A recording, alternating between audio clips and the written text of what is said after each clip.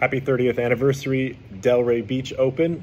Very much looking forward to coming back this weekend and playing a little tennis, seeing the site and the great city that Delray Beach has become over the years. Such great restaurants around the facility there. I want to thank Ivan and Mark Baron for having me back yet again to this great event. Can't wait to see everybody out.